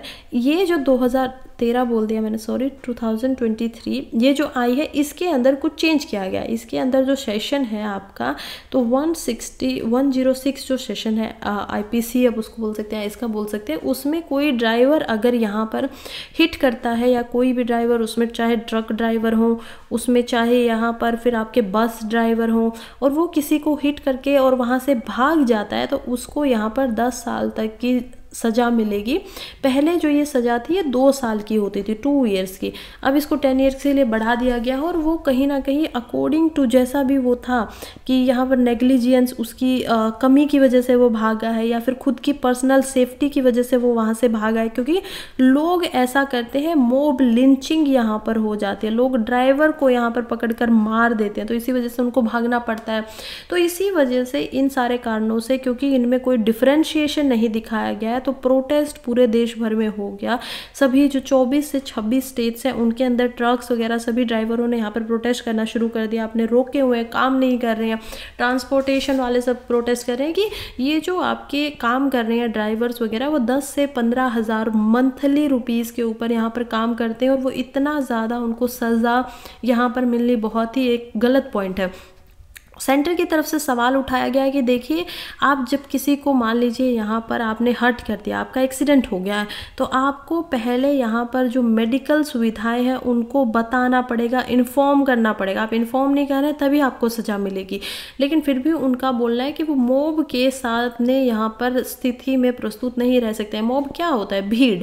भीड़ के सामने तो वो नहीं रह सकते ना, क्योंकि भीड़ उनको डर लगता है कि ऐसे बहुत सारे इंसिडेंट हुए हैं कि पहले ड्राइवरों को पीट पीट कर मार दिया गया है तो इसी वजह से ये कहीं ना कहीं समस्यादायक है। इसी के ऊपर पूरी की पूरी डिबेट यहाँ पर चली हुई है। तो जो अमेंडमेंट का section six one zero six का टू है, भारतीय न्याय संहिता का, वही ये आर्ग्यू कर रहा है कि स्ट्रिक्ट रूल यहाँ पर होने चाहिए, लेकिन इसी के खिलाफ प्रोटेस्ट किया जा रहा है। जो कि पूरे डिबेट के अगर अंदर देखा जाए तो क्या प्रोटेस्ट जस्टिफिके जस्टिफाई यहाँ पर खुद को कर पा रहा है? तो हाँ इसकी जस्टिफिकेशन ठीक नज़र आ रही है। क्या इसमें बदलाव करने की बात है? देखिए, जब सेंटर गवर्नमेंट खुद ही बोल रही है कि येस अभी तक ये इम्प्लीमेंट नहीं हुए हैं और हम इस पर बदलाव करेंगे। तो आप और मैं कौन होते हैं ये बात बोलने वाले कि आ, ये गलत है या जस्टिफाई नहीं हो रहा है? जब गवर्नमेंट खुद ही अपनी मिस्टेक को यहाँ पर मान रही है तो येस इट वो it can be justiciable next हम चलते हैं। ये साइंस एंड टेक्नोलॉजी से बहुत इंपॉर्टेंट यहाँ पर मुद्दा है। पिछले वाला कहाँ पे था? जो ये लास्ट वाला आर्टिकल था ये हमारा जीएस पेपर टू के लिए इंपॉर्टेंट हो जाता है और ये हमारा जीएस पेपर थ्री के लिए काफ़ी इंपॉर्टेंट है। उसके अलावा जीएस पेपर थ्री में ये आपका साइंस एंड टेक्नोलॉजी में प्लस यहाँ पर हेल्थ का जो सेक्शन है, उसमें भी ये इंपॉर्टेंट हो जाता है। क्या बात की जा रही है? How surgical care in India is a neglected part of public health के पब्लिक हेल्थ के अंदर जो सर्जिकल केयर है, यानी कि आपको जो सर्जरी प्लस सर्जरी के बाद जो ध्यान आपका रखा जाना चाहिए, ये दोनों की दोनों केयर ही नेगलेक्ट की जाती हैं, नज़रअंदाज की जाती हैं। तो ये क्यों होता है? चलिए देखते हैं। इंडिया की जो पब्लिक हेल्थ सेक्टर है, वो बहुत ही ओवरलुक कर देता है क्रुशियल रोल क्या क्या रहा है सर्जिकल केयर का, जो कि इसके बहुत कम लोगों के पास, इंडिया की जो पॉपुलेशन है, उनके पास इसका एक्सेस है, बहुत ही कम। खासकर जब हम रूरल एरियाज़ में यहाँ पर जाते हैं और रूरल एरियाज़ की बात यहाँ पर करते हैं। मिलियंस ऐसी बहुत सारी माइनर माइनर छोटी छोटी सर्जरीज हुई हैं, लेकिन उनमें से जो ये सर्जरीज होती है, इसमें बहुत ही ज़्यादा हाइयर नीड है। अगर यहाँ पर दस लोगों की सर्जरी एक दिन के अंदर किसी हॉस्पिटल में हो रही है तो आप यकीन मानिए कि वहाँ पर फिफ्टी सर्जरीज़ की इम्पोर्टेंस है, खासकर जो छोटी सर्जरीज होती हैं। लेकिन क्योंकि अवेयरनेस कम है क्योंकि रिसोर्सेज कम है। इन्हीं कारणों की वजह से रूरल एरियाज़ के अंदर ग्रामीण जो क्षेत्र होते हैं, उनके अंदर बहुत सारे लोग सर्जरी को ऑप्ट ही नहीं करते हैं सर्जरी के लिए जाते ही नहीं हैं। ऐसा क्यों है? क्या क्या कारण है? उसको हम चलिए फिर से माइंड मैप से समझते हैं ईजी बनाते हैं आर्टिकल को। तो पहला हमारा रीज़न है under estimated need for surgical care देखिए, एक लेंसेंट कमीशन है। ठीक है अकॉर्डिंग टू लेंसेट कमीशन जो है ग्लोबल सर्जरी के ऊपर उन्होंने यहाँ पर बताया है कि जो इंडिया का रेट है सर्जरीज़ का, ये बिल्कुल इंपॉर्टेंट आर्टिकल हो जाता है ऐसे के लिए भी कि इंडिया का जो रेट है सर्जरीज़ का और ये आपको लिखने चाहिए, याद होने चाहिए। जब आप अपनी आंसर राइटिंग करते हैं तो ये सब चीज़ें आपको पता होनी चाहिए जो कि न्यूज़पेपर से ही मिल सकती हैं कि इंडिया के अंदर जो सर्जरीज़ का रेट है वो बहुत ही कम है जितना चाहिए होता है। एक्चुअल जितनी नीड है उससे बहुत कम है और इन, इसके पीछे कुछ फैक्टर्स है, जैसे कि क्या क्या फैक्टर्स है? पॉपुलेशन जनसंख्या का साइज़ बहुत बड़ा है। As compare to doctors doctors का साइज़ बहुत कम है। सीटिंग की यहाँ पर बात होती है कि फिर से डॉक्टर कम है और वो कितने टाइम तक किसी एक पेशेंट को यहाँ पर ले सकते हैं। फिर कुछ और अदर वेरिएबल्स भी यहाँ पर है कि पैसा लोगों के पास कम है या फिर आयुष्मान कार्ड जो है, जो गरीब पीपल है, उनके पास सभी के लिए वो बन नहीं गए हैं। नंबर ऑफ़ सर्जरी यहाँ पर कितनी कम है डिमांड जितनी चाहिए उससे कम वो हो जा रही है। तो ये सारे कहीं ना कहीं अंडर एस्टिमेट कर रहे हैं फैक्टर्स यहाँ पर सर्जिकल केयर की नीड को। सेकेंड पॉइंट हम देखते हैं जो कि है negligence of right to access surgery देखिए, खुद लोग भी ऐसा करते हैं कि सर्जरी जो है ना, एक तरीके से वो एक लग्जरी की तरह यहाँ पर देखा जा सकता है कि कुछ लोग जो लग्जरी को अफोर्ड कर सकते हैं, जिनके पास पैसा है, वही यहाँ पर जाकर ज़्यादा इसको ले सकते हैं। और ये जो एक बेसिक राइट होना चाहिए ह्यूमंस के लिए जो एक हेल्थ बेसिक राइट होना चाहिए कि सबसे ज़रूरी है, प्राथमिक ये राइट है, ये बेसिक ना होकर ज़्यादा पॉपुलेशन जो इंडिया की है, उनके लिए एक सेकेंडरी राइट होता है कि ठीक है, हमारे पास जब पैसा होगा तब हम देखेंगे। फिर जो लेंसेंट का कमीशन है, उनके पास भी लिमिटेड डाटा है, लेकिन जितना डाटा उनके पास था। उस लिमिटेड डाटा में से यहाँ पर 90 प्रतिशत ऐसे ग्रामीण इंडियंस हैं, यानी कि रूरल इंडियंस ऐसे हैं, जिनके पास सर्जरी का एक्सेस नहीं है। उनके पास सर्जरी करवाने के लिए पैसे नहीं है या वो सर्जरी नहीं करवा रहे हैं, जबकि उनको रिक्वायरमेंट है। यानी कि अगर मान लीजिए, अब मैं आपको थोड़ा और इजी बनाती हूँ। एक गाँव है जिसके अंदर पॉपुलेशन है एक हज़ार लोगों की। उनमें से सौ लोग ऐसे हैं जो बीमार हैं और उनको अलग अलग सर्जरी चाहिए, किसी को एनी थिंग आप कुछ भी बोल सकते हो, किसी को डेंटल सर्जरी की यहाँ पर ज़रूरत है, दांत की उनको करवानी है, किसी को यहाँ पर हैंड के लिए कुछ करवाना है, किसी को यहाँ पर हार्ट की सर्जरी करवानी है तो ये सारी चीज़ें हैं, उनमें से सौ लोगों को यहाँ पर मैंने हज़ार लिख दिया, लेकिन थाउज़ेंड लोग हैं टोटल पॉपुलेशन उनमें से सौ को यहाँ पर डेंटल सर्जरीज़ के अलग अलग सर्जरीज़ की ज़रूरत है। इनमें से दस लोग ही ऐसे होंगे जो एक्चुअली में सर्जरी करवा रहे हैं इंडिया के अंदर। ये डाटा निकल कर आ रहा है कि इतनी पॉपुलेशन में से यानी कि टेन परसेंट ही लोग ऐसे हैं जो इस काम को करवा पाते हैं। नब्बे परसेंट बचे हुए लोग जो ऐसे हैं, वो अलग अलग कारणों की वजह से सर्जरी को ऑप्ट नहीं कर रहे हैं। ये हमें डाटा बता रहा है। बैरियर्स क्या क्या है, बाधाएँ क्या क्या है इसके अंदर? अलग अलग बैरियर्स हैं। जोग्राफी भी एक बैरियर है कि आप किस जगह पर हो, वहाँ पर हॉस्पिटल है, नहीं है, आपका अच्छे हॉस्पिटल है। फिर लैक ऑफ़ रिसोर्सेज अगेन मैं बार बार इस चीज़ को बोल रही हूँ कि एक तरीके से लग्जरी है ये करवाना तो पैसे की कमी है यहाँ पर। फिर कैपेसिटी भी लो होती है, जो सर्जरीज होती हैं, उनका फेलियर कई बार देखा जाता है कि कहीं ना कहीं यहाँ पर जो क्वालिटी है वो कम है तो इसलिए लोग डर जाते हैं। फिर क्वालिटी जो है केयर की कि आप सर्जरी के बाद किस तरीके से केयर करेंगे, वो भी यहाँ पर डिमेंश है कि थोड़ी कमज़ोर है, फिर फाइनेंशियल इम्प्लीकेशन तो यहाँ पर देखे ही जाते हैं। नेक्स्ट हम देखेंगे जो कि है gaps in surgical care gaps क्यों आ रहे हैं? गैप्स ही तो हो गया ना, कि यहाँ पर सौ लोगों को चाहिए था और दस ने ही करवाया तो ये क्या है बीच का? ये होता है आपका गैप कि गैप देखने को मिलता है। तो इंडिया का जो सर्जिकल सिस्टम है, वो सिविलियन इनिशिएटिव के ऊपर काम करता है। लोगों को जो खुद उनको जाना पड़ता है हेल्थ के बाद में और कुछ सब नेशनल एजुकेशनल प्रोग्राम भी देखे गए हैं जो सिस्टमिक जो गैप्स है उनको फिल करने के यहाँ पर काम करें जैसे आयुष्मान, मैं फिर से आपको उसी का एग्ज़ाम्पल देना चाहती हूँ। लेकिन फिर भी जो मीनिंगफुल इम्प्रूवमेंट है वो तभी हो सकता है जब यहाँ पर सिस्टमेटिक लैब्स जो है सिस्टम के अंदर जो कमियाँ हैं, उनको टोटली ख़त्म कर दिया जाएगा इरेडेक्ट कर दिया जाएगा, तभी यहाँ पर चेंज देखा जाएगा। फिर हम नेक्स्ट देखते हैं कि lack of national surgical action plan की यहाँ पर कमी देखने को मिलती है। देखिए, जब हम इस इशू को टैकल करने की बात कर रहे हैं, कम, ठीक करने की बात कर रहे हैं। तो हमें सबसे पहले ये एक्सेप्ट करना पड़ेगा कि प्रॉब्लम तो है एग्जिस्टेंस तो है प्रॉब्लम तो यहाँ पर दिखाई देती है। तो प्रॉब्लम अगर है तो क्योंकि यहाँ पर ये जो प्रॉब्लम उस पर ध्यान ही किसी और ग्लोबल जो हमने लेंसेंट कमीशन को देखा वही हमारा दिलवा रही है। तो ये भी तो एक समस्या है ना अटेंशन भी तो करनी पड़ेगी।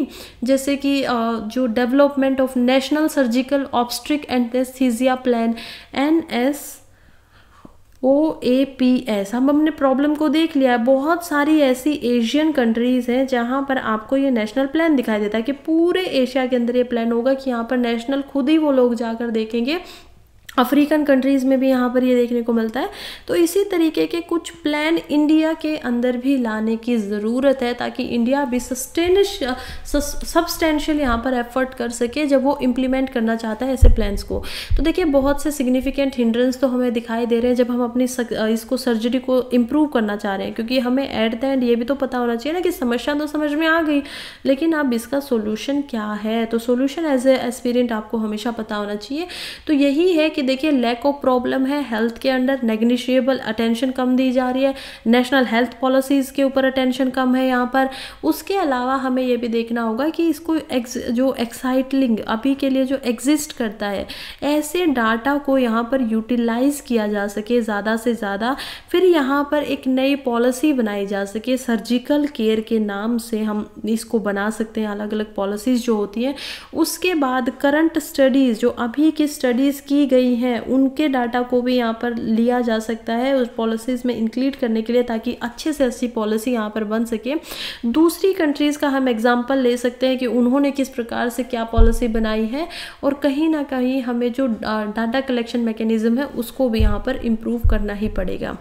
चलिए नेक्स्ट हम आज के आखिरी आर्टिकल की तरफ़ बढ़ गए हैं, जो कि बात कर रहा है South Korea conduct super conductivity claim received with new data बहुत इंपॉर्टेंट आर्टिकल है। जी जी एस पेपर थ्री के अंदर आपका इंपॉर्टेंट हो जाता है साइंस एंड टेक्नोलॉजी में और साइंस एंड टेक के पोर्शन में भी सुपर कंडक्टिविटी जो कि आपका आता है बायोटेक के अंदर। प्लस बायोटेक में भी इतना नहीं आके जो प्लस में स्पेस प्लस अलग अलग जो आ, आपकी कंडक्टिविटी का मैटर है उसके अंदर आता है। तो देखिए क्या है ये वो तो मैं आपको समझा दूँगी लेकिन उससे पहले एक वर्ड पे आपको ध्यान देना पड़ेगा कि ये सुपर कंडक्टिविटी होती क्या है। ठीक है इसको समझना हमें सबसे पहले बहुत इंपॉर्टेंट हो जाता है। क्या होती है सुपर कंडक्टिविटी देखिए कंडक्टिविटी का क्या होता है? सबसे पहले ये बताइए, आपने अगर कुछ भी, थोड़ा बहुत भी अगर साइंस पढ़ा है तो आपको हमें दो चीज़ों का तो पता ही है सेवन्थ एट्थ क्लास से ही पता है कि दो प्रकार के यहाँ पर मटेरियल होते हैं। एक मटेरियल क्या होते हैं, जिनको बोला जाता है इंसुलेटर इंसुलेटर्स क्या होते हैं, जो आपके करंट को पास नहीं होने देते हैं। दूसरे यहाँ पर होते हैं कंडक्टर जो करंट को पास होने देते हैं। लेकिन अब कुछ इनमें समस्याएँ होती हैं। इंसुलेटर क्या होगा? एग्जाम्पल्स हम देख लेते हैं इंसुलेटर में, जैसे कि क्लोथ ज़्यादातर कपड़े ऐसे होते हैं जो करंट को एक दूसरे से पास नहीं होने देंगे। आपके अगर किसी चीज़ में करंट लग रहा है, कोई ऐसा उपकरण है, कोई प्रोडक्ट अगर आप उसको कपड़े से टच करेंगे तो वो करंट पास नहीं हो पाएगा, बहुत कम हो जाएगी, उसकी इंटेंसिटी बहुत कम हो जाएगी। फिर यहाँ पर होती है प्लास्टिक क्योंकि वायर्स के ऊपर भी प्लास्टिक होती है, फिर हम देख पाते हैं यहाँ पर रबड़ वगैरह को रबर का यूज़ किया जाता है। और कंडक्टर यहाँ पर ज़्यादातर होते हैं गोल्ड, सिल्वर। सबसे बेस्ट जो कंडक्टर माना गया, वो आज तक इलेक्ट्रिसिटी का सिल्वर माना गया और कॉपर आपकी एसी की जो वायरिंग होती है, ज़्यादातर उनको बोला जाता है कि कॉपर की दीजिएगा। तो क्यों होती है कॉपर की वायरिंग वो अब हम समझेंगे। इतना आपको समझ में आ गया है। अब हम समझेंगे कि इलेक्ट्रिसिटी एक्चुअली में जाती कैसे है? किसी भी चीज़ के अंदर जब हम उसको भेजते हैं, किसी भी इलेक्ट्रॉन को इलेक्ट्रिसिटी जब जाती है तो वो कैसे यहाँ पर कंडक्ट होती है? तो देखिए, मान लीजिए हमारी एसी की बात अब हम करते हैं, ठीक है?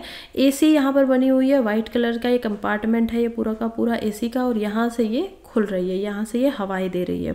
अब अगर हम इस एसी के अंदर चले जाएँ और अब हम इसकी कॉपर की वायरिंग की बात करें, ये हमारे कॉपर की इसमें वायरिंग लगी हुई है। तो हम इस कॉपर को देखते हैं, ये कॉपर की वायरिंग के अंदर किस तरह से काम करें, यहाँ पे अलग अलग मशीन वगैरह जो इसको कूलिंग कर रही है। ये कॉपर जो हमने अभी देखा, इस कॉपर को हम यहाँ पर ले लें। ये कॉपर को भी अगर हम जूम करें और इसके अंदर जाएँ तो हम इसके अंदर इसके बहुत सारे एलिमेंट्स को देख पाएँगे जो कि छोटे छोटे कॉपर के पॉजिटिवली चार्ज यहाँ पर होते हैं, हमेशा प्लस होंगे। कोई भी चीज़ अगर आप ऐसे मटेरियल को देखेंगे तो हमेशा प्लस देखेंगे।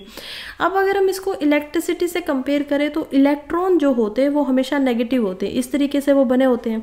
जब यहाँ पर आप एक वायर के थ्रू यहाँ पर इलेक्ट्रॉन्स को इस कॉपर के अंदर डालेंगे तो वो इलेक्ट्रॉन यहाँ से यहाँ से यहाँ से क्रॉस होंगे राइट और जब भी वो इलेक्ट्रॉन इन जो कॉपर के पहले ही सी प्लस हम यहाँ लिख लेते हैं, जो कॉपर के पहले ही उनके साथ जब ये भिड़ेंगे, थोड़ा बहुत, क्योंकि एक एक जगह से कोई चीज़ आप पास करो, एक रास्ता है रास्ते के ऊपर बहुत सारे यहाँ पर पत्थर रखे हुए हैं, पेड़ हैं और आपको उस रास्ते से क्रॉस करना है। कुछ लोग होंगे जो ठीक है, बहुत कम जगह से भी क्रॉस कर पाएँगे, लेकिन कुछ लोग हो सकता है उनको लगेगा को किसी को कहीं पे टच होगा। तो जब ये टच होता है ना, जब ये कोई भी आपका मोलिक्यूल जो होता है, जो पॉजिटिवली चार्ज प्लस जो इलेक्ट्रॉन के साथ यहाँ पर जो कि नेगेटिवली होता है, उनके साथ जब ये टच होते हैं, एक दूसरे के साथ भिड़ते हैं तो ये एकदम से हीट को जनरेट करते हैं।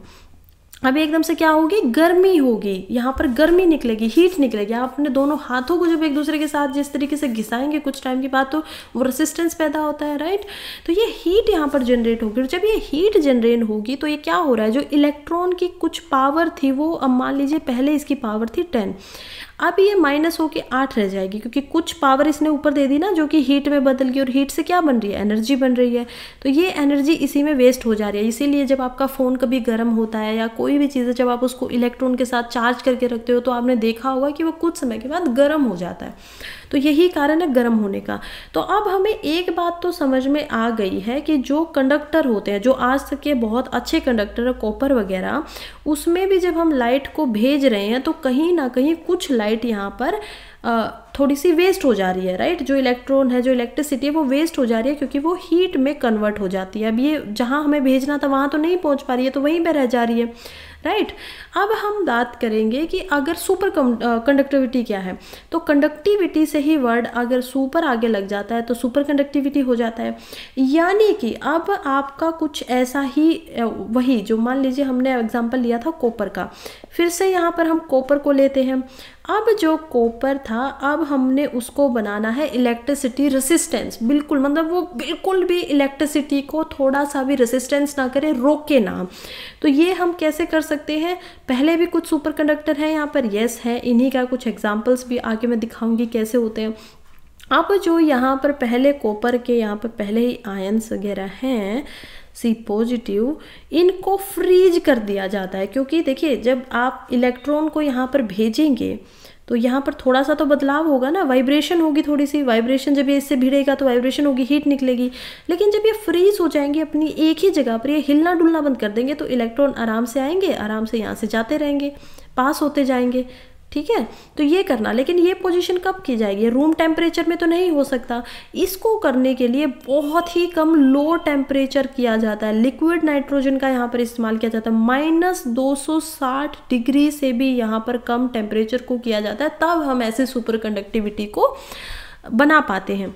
लेकिन पहले एक स्टडी हुई जो कि साउथ कोरिया की तरफ़ से की गई थी और उस स्टडी में के 99 नाइन यहाँ पर एक प्रोडक्ट का यूज़ किया गया और ये जो मटेरियल था एल के नाइन्टी इसमें माना गया कि ये एक सुपर कंडक्टर बन सकता है रूम टेम्परेचर पे, यानी कि जो 26 से 28 डिग्री जो रूम का टेम्परेचर होता है नॉर्मल जो आपका, उसमें भी ये सुपर कंडक्टिविटी लेके आ सकता है। देखिए, ये बहुत ही बड़ा रिवील था। 2023 में ये आता है, लेकिन फिर हमें पता चलता है कि ये फेल हो जाता है, ऐसा कर नहीं पाता। फिर से इसका रिवाइवल करने की बातें हो रही हैं।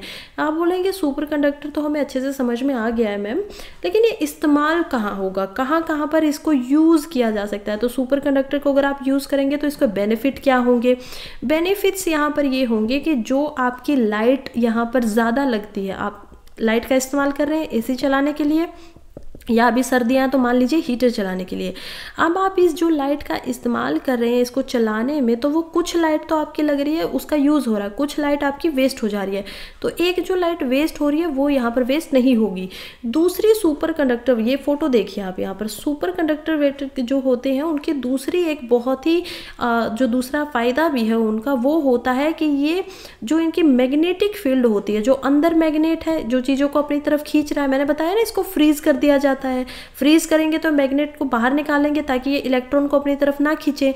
तो ये जो मैग्नेटिक फ़ील्ड होती है, ये अपनी मैग्नेटिक फ़ील्ड को बाहर निकाल देते हैं। बिल्कुल, अगर कोई सुपर कंडक्टर है तो वो ऐसा दिखेगा। उसकी मैग्नेटिक फ़ील्ड बाहर निकल चुकी होगी और बाहर की भी उसको बाहर रखेगा। लेकिन ये मैग्नेटिक फ़ील्ड दो तरीके से काम करती है। मैग्नेट या तो आपका पुश करेगा अपनी तरफ़ या फिर पुल करेगा, दूर भेजेगा। ये एक ही साथ में अपनी तरफ़ पुश भी कर रहा है, दूसरी तरफ़ ये पुल भी कर रहा है। तो ये इस तरीके से एक सर्कल में यहाँ पर काम कर करती है इसकी मैग्नेटिक फ़ील्ड तो ये जो आप मैग्नेटिक फ़ील्ड को फिर यहाँ पर देख पाएँगे, अब ये मैग्नेटिक फ़ील्ड जो काम करेगी, वो बहुत बड़े बड़े इंपॉर्टेंट हो जाएँगे कि ये मैग्नेटिक फ़ील्ड कुछ ट्रेन को चलवा देगी।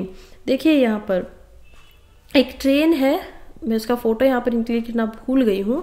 एक ट्रेन है मयो नाम से, जो कि जापान की ट्रेन है, जिसके अंदर सुपर कंडक्टिविटी का इस्तेमाल करके उसको मैग्नेट की तरह हवा में उड़ाया जाता है। उसके जो टायर होते हैं, वो हवाई जहाज़ की तरह जब वो बहुत फास्ट चलती है 600 किलोमीटर पर आवर एक घंटे के हिसाब से वो चलती है तो उसके टायर ऑटोमेटिकली अंदर चले जाते हैं, ऊपर की तरफ़ यहाँ पर चले जाते हैं और वो हवा में ही यहाँ पर दौड़ती है, यानी कि वो ज़मीन में बिल्कुल भी नहीं आती है। उसके जो ट्रैक होते हैं, हमें फ्रिक्शन का इस्तेमाल करना पड़ता है किसी चीज़ को चलाने के लिए, घिसाने के लिए। जब वो घिसती है तो वहाँ से हीट बनती है हीट बनती है तो वो आगे एनर्जी की तरह आगे बढ़ती है। लेकिन यहाँ यहाँ पर उसकी ज़रूरत नहीं बनेगी। अभी समस्या क्या है इसके लिए? समस्या यही है कि टेम्परेचर मेंटेन करना पड़ता है लिक्विड नाइट्रोजन को डालना पड़ता है, महँगा आता है। अगर सेम चीज़ थोड़ा कम पैसे में हो जाती है अगर सेम चीज़ नॉर्मल टेम्परेचर पर हो जाएगी तो हमारे लिए बहुत फ़ायदेमंद होगा। चलिए अब हम इसको माइंड मैप से समझते हैं कि पूरा वो क्या बोलता है। अब हमने कंसेप्ट पूरा समझ लिया है, आप इसको भूलेंगे नहीं कभी भी। तो हम समझते हैं कि साउथ कोरिया में बात की जा रही है सुपर कंडक्टिविटी को बढ़ाने की। उसके लिए पहले है मीज़र इफ़ेक्ट क्या होता है। तो ये क्या होगा? जितनी भी मैग्नेटिक फ़ील्ड प्रेजेंट है, उसको बाहर निकाल देगा, जिससे चीज़ें क्या करेंगी? ऊपर तैरने लगेंगी राइट right? दूसरा हम देखेंगे जो कि सुपर कंडक्टिविटी को समझना कि इलेक्ट्रिक करंट को बिना रेसिस्टेंस के, बिना उसको रोके आराम से फ्लो करने देता है। ये हम पहला पूरा समझ चुके हैं। थर्ड हम समझेंगे कि एल के नाइन्टी नाइन जो कि 2023 के अंदर आया था, वो कह रहा था, हम रूम टेम्परेचर को इसको कर सकते हैं, अब वो ख़राब हो गया था, यानी कि उसका क्लेम को वो नहीं कर पाया था, इसलिए कॉन्ट्रोवर्सी थी। और फोर्थ यहाँ पर कि एक और नई स्टडी फिर से साउथ कोरिया की तरफ़ से पहले ये स्टडी थी, फिर से ये स्टडी की गई है। और ये कह रहे हैं कि अब कुछ हमने ज़्यादा स्टडीज़ पे की है और अब भी ये रूम टेम्परेचर पे काम कर पाएगा। फिर से यहाँ पर क्या होगा, देखिए इसको प्रूफ करना पड़ेगा। जब तक प्रूफ नहीं होता है, तब तक हम इसका कुछ निकाल नहीं सकते। हमारे लिए एक कंसेप्ट था, जो इम्पोर्टेंट था, वो हमने पढ़ लिया यहाँ पर। चलिए यहीं पे हमारा न्यूज़पेपर ख़त्म हो जा रहा है। थैंक यू सो मच जो भी यहाँ पर बने हुए हैं। तो देखिए कितना प्यारा हमारा आ, मतलब कि चैनल यहाँ पर है। तो इसको लाइक कर दीजिए सब्सक्राइब कर दीजिए शेयर कर दीजिए और यहाँ पर इस बेल पे भी क्लिक कर लीजिए नोटिफिकेशन बेल पे ताकि जब भी ये आए आपको न्यूज़पेपर तो सुबह सुबह सबसे पहले मिल जाए और आप अपनी यूपीएससी की जर्नी में और ज़्यादा अच्छे से आगे बढ़ पाएँ। सो so, पढ़ते रहिए बढ़ते रहिए। All the very best